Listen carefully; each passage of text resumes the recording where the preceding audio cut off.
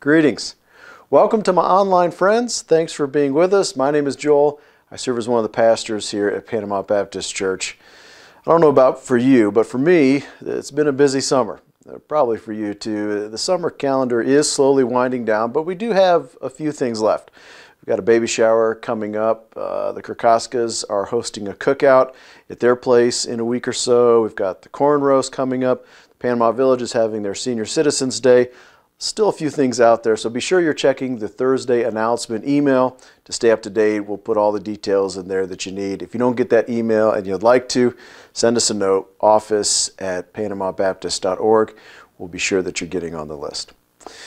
Speaking of summer calendar winding down, I want to pray as we start our time together for our families as they finish up their summer. I want to pray for our families that they'll be intentional in their time together. I know we've just had lots of folks traveling, going on vacations, doing some fun things together. I want to pray that they will make memories that will last a long time and will draw them closer together. So I'll pray. Uh, Would you pray along with me? Let's do that and start our time together, and then the crew will come and lead us in some music. Lord, I do pray for our families, the different generations that you've given to us here at PBC. And so I pray for those families as they are intentional these last few weeks before school kicks back up, as they travel, uh, take trips together to give them safety, enjoy their time together. They'd be making memories that they would be talking about for a long time. And then as they get back into their routine with school and sports and such, uh, Lord, that you would uh, just give them the time to be spending together fellowshipping with one another. In your name we pray. Amen. All right. Let's sing along together.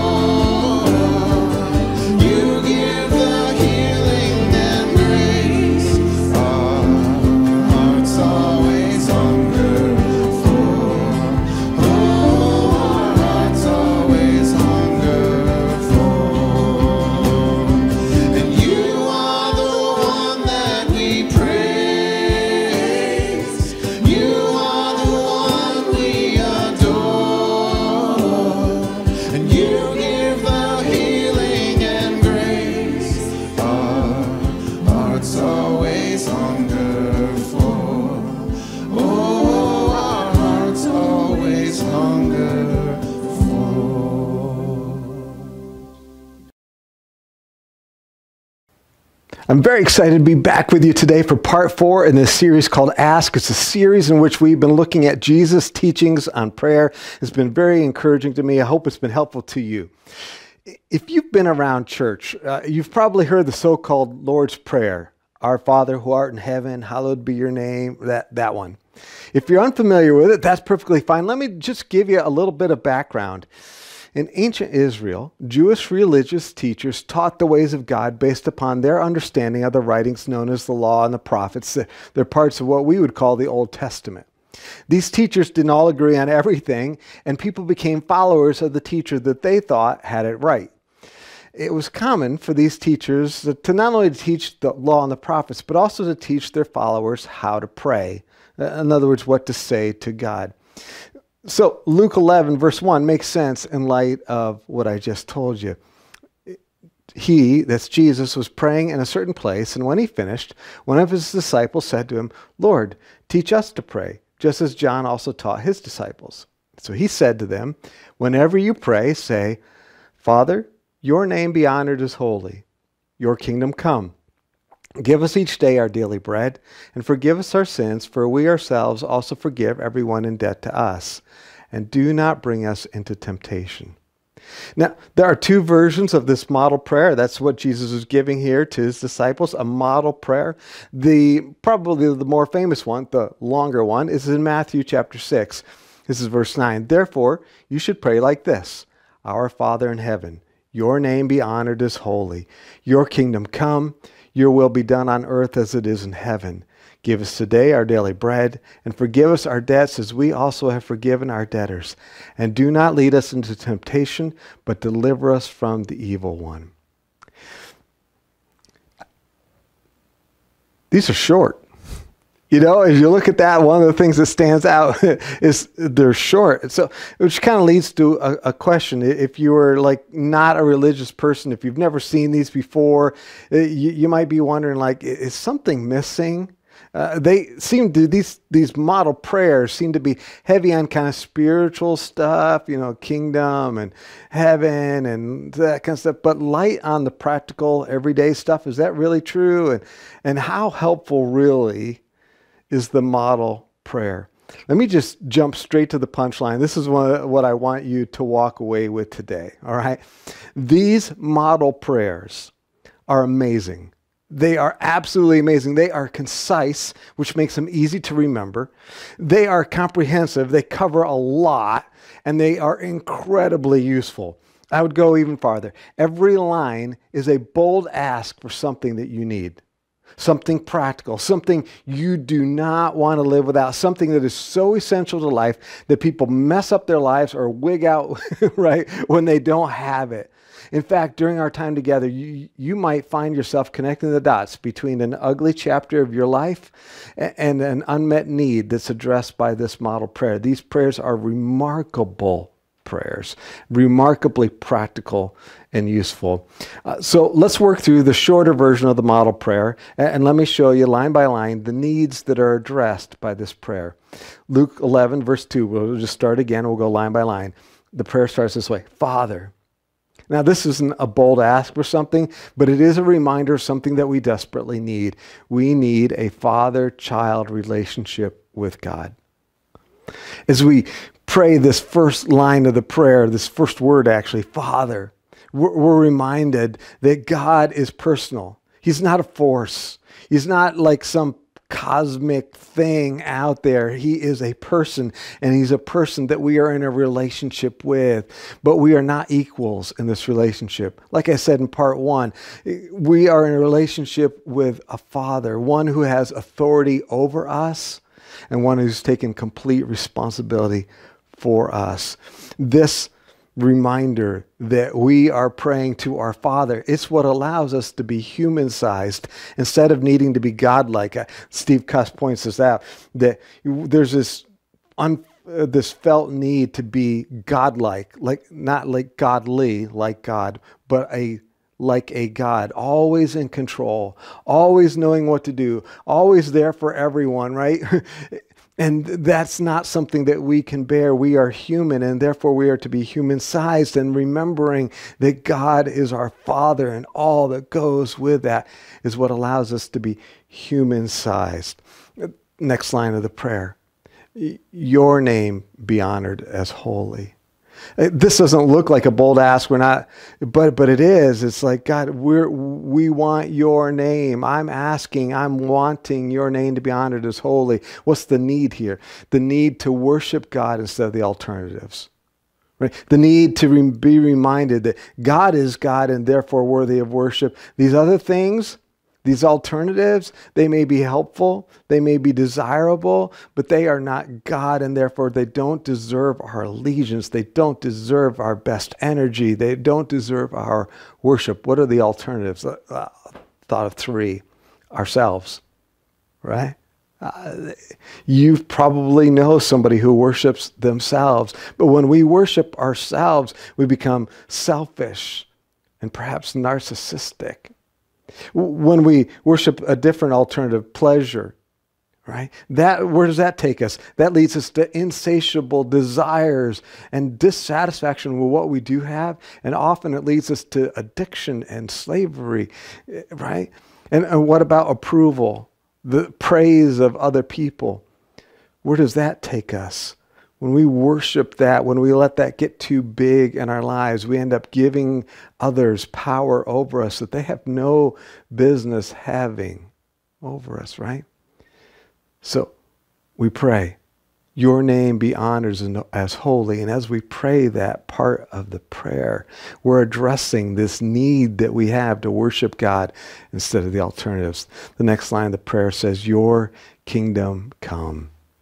There are at least three needs that are addressed in those three words. And the first is hope for something better. When I pray, God, your kingdom come, right? I'm saying I, am looking forward to the day when when heaven comes, when the millennium comes, when right I'm looking forward to something better, and I believe it's coming, and I believe the better is your kingdom.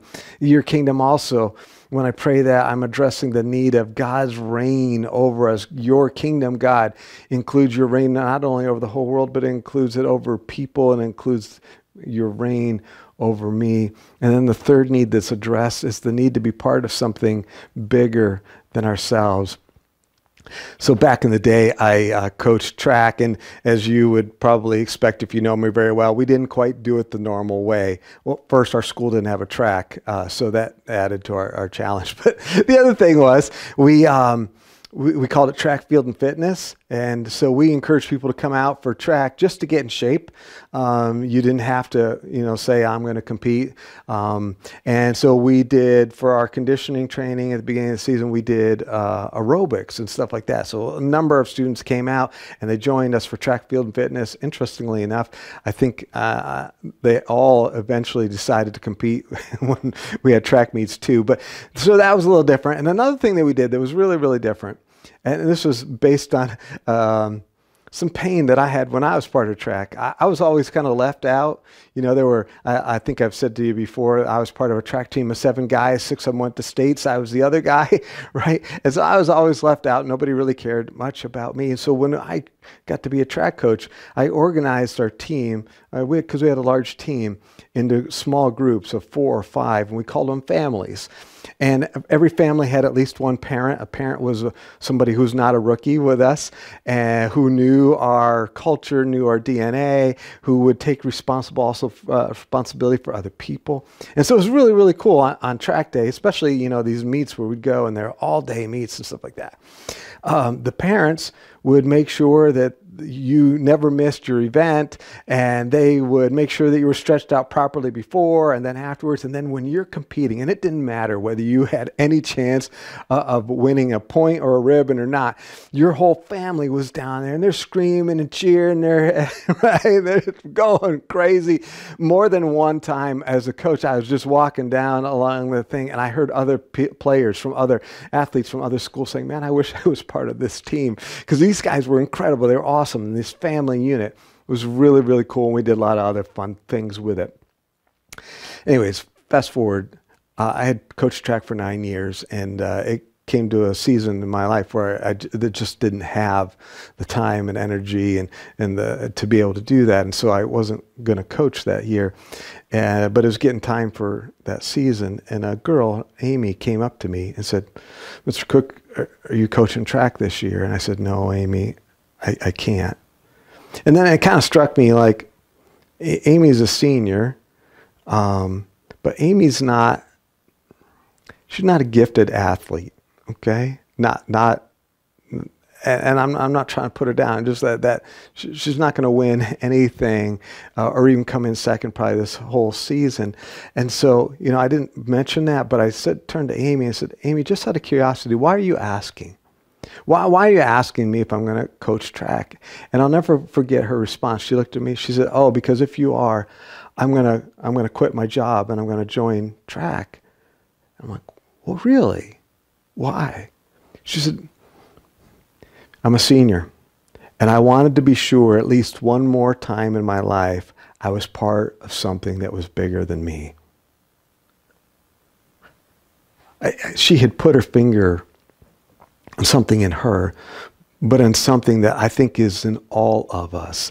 Every one of us, when we're honest with ourselves, yeah, yeah, we prioritize ourselves, right? And we want things to go well for us, and we're maybe pretty selfish in a lot of ways, but we want also to be part of something that's bigger than us. That's your kingdom, not your kingdom, God's kingdom. When we pray that prayer, God, your kingdom come, we are praying a prayer that simultaneously reignites our hope for something better, but also tells us that it's a privilege to be part of what God is doing because when we do that, we are part of something big, way big, way bigger than ourselves, something that we can belong to and contribute to. Your kingdom come touches on that need. Next part of the prayer give us each day our daily bread. Well, the need here, I think, is kind of obvious. Our daily bread each day. Friends, I'm well aware of the fact that we live in America and most of us have an abundance of material things. And so, this idea of daily bread, like, uh, you know, will I have enough food to make my lunch tomorrow? That's not the problem for most of us most of us we are so rich we actually get to choose what we eat not just whether we eat. So we have an abundance of material things. But here in america we have a severe shortage of emotional and relational supplies. A severe shortage, I think, in those areas. We are tired and we are weary and we are stressed and we are, right, uh, struggling with relationships in our lives and the complications and the drama and, and all of that. And so when I think about our daily bread being not just about food, but about anything else that we need in order to do well through the day, this prayer is as relevant to us as it is to hungry orphans in a war zone. You think about all the things that we need, all the stuff that constitutes our daily bread. I, made a short list money, food, clothing, shelter, health, safety, energy, insight into what's going on, right? True perspective, perseverance, friendship and companionship, favor with others, all these things we can pray for when we're praying, God, give me my daily bread. Let's go to the next part of the prayer and forgive us our sins. Huh.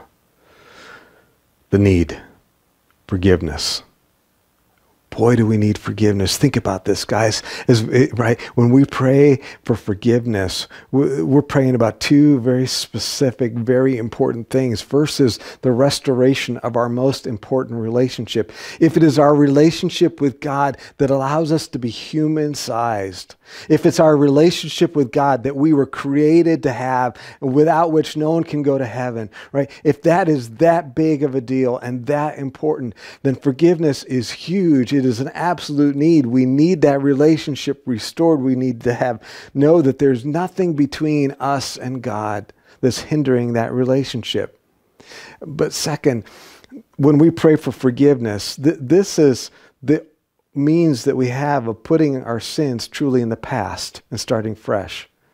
A- anything else is either going to be a cover up or an ongoing accusation, right? If I don't pray and ask God for forgiveness for the things that I've done, the offenses that I've done against Him, then I'm just pretending, I'm covering up because that stuff's still there. It's not been dealt with, at least from my side of it. God, Jesus' blood took care of everything, but from my side, it's not dealt with. So it's a cover up on my end. It's a, it's a pretending or it's also setting me up for an ongoing accusation of the evil one who's like, You did this, you did this. And, and I don't have that way to answer him and say, But I have talked it over with my father, and he reminded me that he died on the cross for that, and all is forgiven.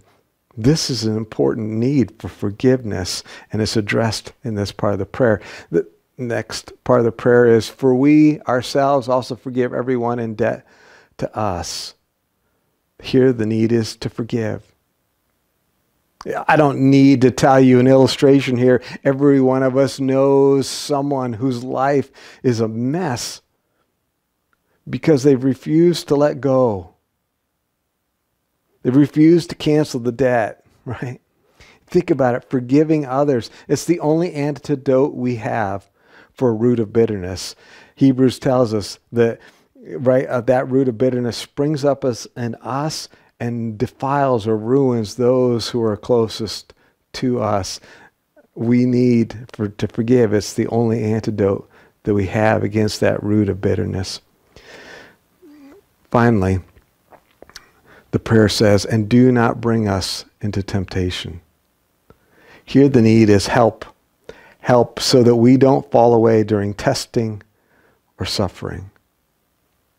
If we don't pray this prayer, God, don't let, don't let the suffering or the testing that I face become a temptation to do the wrong thing. If we don't pray that prayer, think of what might go wrong, right? There's a high chance that we're going to value relief more than passing the test. That's what so many of us do. That's what I do, right? I, am in a situation, whether it's suffering or testing or, or something else like that, but it's a, I'm in a painful season of life, a painful situation. And, and what I want is relief. What I want, right? I, I want out. I want, I want a break. I want a relief from it. But, and that's not wrong where that goes badly, though, is when I value relief more than passing the test, more than getting through the situation and handling it in the right way. And if I don't pray this prayer, that's probably the default for most of us. We will value relief more than we'll value the test. I, I've told you before a couple things that help. Uh, one of them is Andy Stanley had taught, like, when you someday tell the story of your life, this thing that you're going through right now, it's going to be one, maybe two sentences. That's a perspective. That's help right there. But then he adds this live in such a way that when you tell this your story, you're not wishing you could leave these one or two sentences out. In other words, pass the test. You, you want to, no matter how hard, you want to pass the test. You want to do this right. You want to handle it in a way that you don't regret, in a way that you're not like someday ashamed to say, yeah, that's what I did. And then that led me to this. And then, but I think I'm back now, right? Praying this part of the prayer helps us get that straight and get God's help for passing the test, so we're not disloyal to God. We don't have regrets. And you know the other thing, the really, the other really bad thing about valuing relief too highly is when we do that once, well, we did it. We do that a second time, we're well on our way to making a habit of choosing relief over passing the test. And that's a very destructive habit to build. And so we pray this prayer, right? God, don't bring me into temptation. God, help me so I do not fall away during times of testing or suffering. I've got three questions I'd like you to, to answer. If you're with someone else, you could chat about them. I'm going to put them all three up on the screen right now, but you can chat with someone else. If not, you know, just think about it yourself. Here are the three questions. How many of these needs are real needs? Because I've been using that word need. Like, we need this, we need this. Do we really need those things? How many of these things are really needs?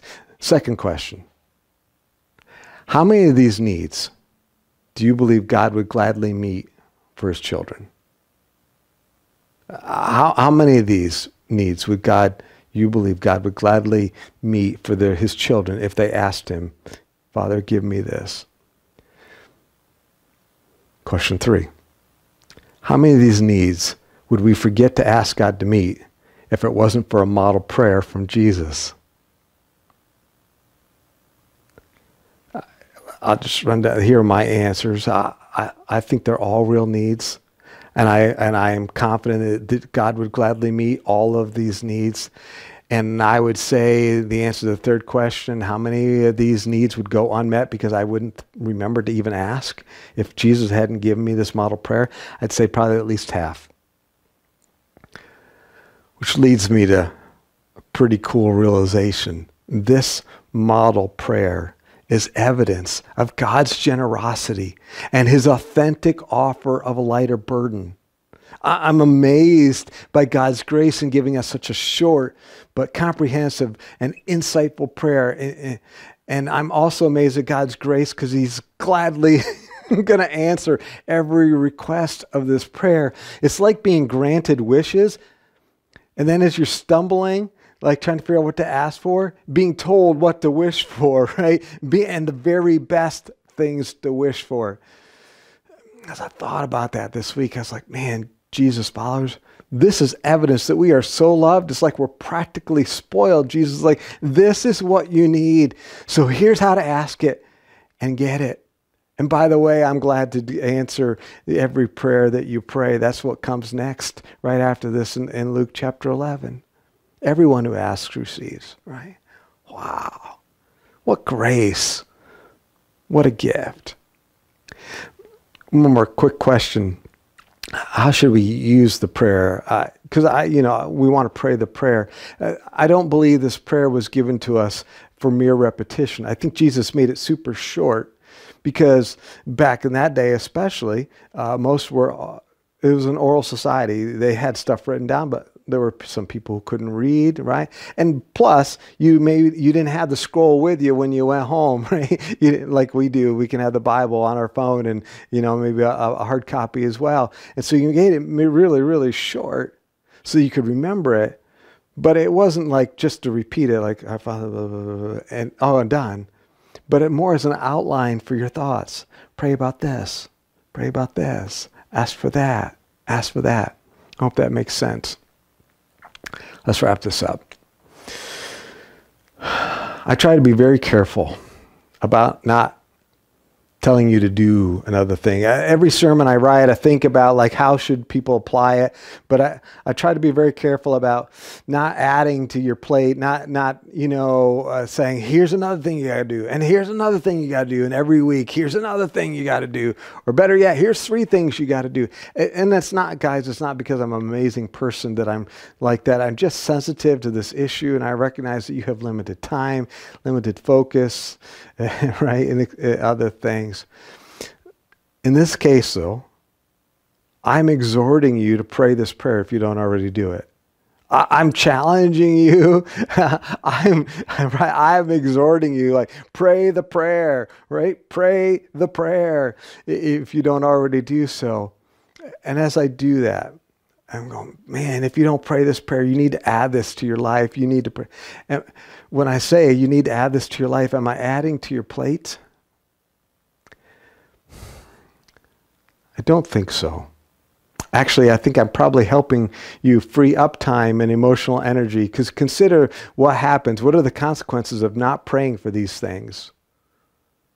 If, if you don't pray for these things, you're going to needlessly go without and then have to compensate for what you don't have that Jesus would have gladly given to you or God would have gladly given to you in Jesus' name, right?